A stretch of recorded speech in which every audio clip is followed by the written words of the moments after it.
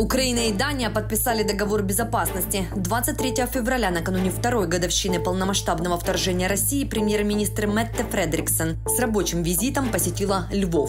Обе страны подписали договор о сотрудничестве в сфере безопасности и долгосрочной поддержки между Украиной и Данией. Документ предусматривает, что в этом году датчане направят на военные нужды не меньше, чем 1,8 миллиарда евро. Кроме того, до 2028 года на поддержку Украины датский фонд направит 8,5 миллиардов евро.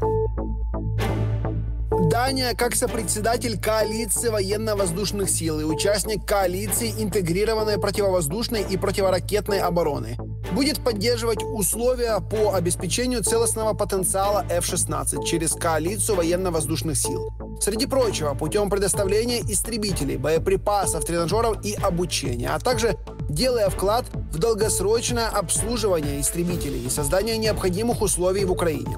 Кроме того, закрепили поддержку строительства морского флота Украины, усилий по разминированию, а также предоставление Дании высокотехнологичной военной помощи, беспилотников, радаров и оборудования для выявления. За день до встречи премьер-министр Дании огласила о 15-м пакете военной помощи, которую ее страна предоставляет Украине. Его стоимость 247 миллионов долларов. В него входит приобретение артиллерийских боеприпасов, ПВО, разминирование и беспилотники. Известно, что датская Минобороны совместно с коллегами из Чехии закупят 15 тысяч артснарядов 155 калибра мы должны давать больше и выполнять те обязательства, которые давали. Потому что вы не можете выиграть войну благодаря словам. Должны быть действия, которые стоят за этим. И я хочу сказать народу Украины о том, что мы в других европейских странах четко понимаем, что ваша борьба – это наша борьба. Это борьба Европы. И от имени Дании я бы хотела вас убедить в том, что мы будем продолжать предоставлять вам помощь столько, сколько это будет необходимо. 15-й пакет военной помощи должен поступить в Украину в ближайшее время. Вопрос «когда» самый главный, так как промедлением партнеров пользуются оккупанты. Когда в Украине? Нетерпеливо звучит и по отношению к самолетам F-16. Напомним, именно Дания продвигала передачу этих истребителей украинским силам обороны.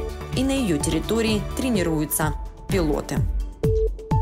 Мы начали обучение ваших пилотов в августе. Они проходят очень быстро и хорошо. Единственная причина, почему мы все еще задерживаемся с передачей F-16 в Украину, это просто техническая причина, технический момент. Нужна серьезная инфраструктура для обслуживания этих истребителей. Понимаете, что провести обучение на F-16 это намного дольше, чем для других систем вооружения и самолетов. Соответственно, мы очень настойчиво работаем над этим. И я очень надеюсь, что нам удастся увидеть F-16 в воздушном пространстве Украины еще до лета.